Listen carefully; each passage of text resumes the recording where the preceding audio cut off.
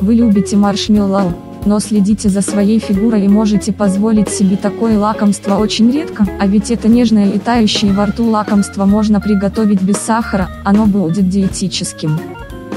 Если вы сладкоежка, но следите за фигурой, знайте, что это не повод отказываться от любимых лакомств.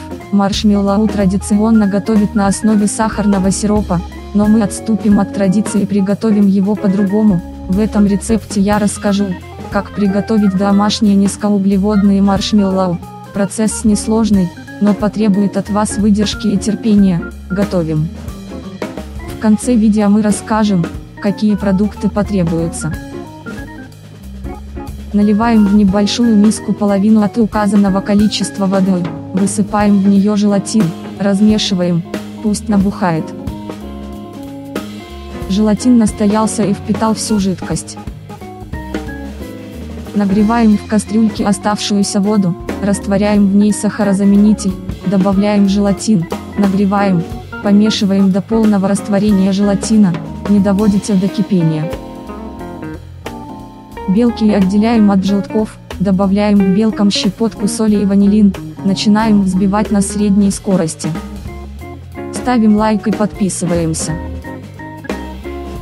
Взбиваем белки до мягкой пены. Затем увеличиваем скорость взбивания до максимума и начинаем тонкой струйкой вливать остывший желатиновый раствор. Взбиваем примерно минут 8-10 до получения густой и пышной массы. Застилаем форму пергаментом, выкладываем в нее получившуюся массу. Разравниваем в слой толщиной 2-3 см отправляем в холодильник часа на 3 застывать. Застилаем стол пергаментом, выкладываем вкусный пласт из формы. Нарезаем ножом или формочками, нарезанные кусочки обычно посыпают сахарной пудрой с крахмалом, но у нас диетический вариант, поэтому пусть кусочки подсыхают сами по себе, а теперь можно и полакомиться. Подписка на канал, гарантия свежих вкусных рецептов. Теперь, о составе нашего блюда.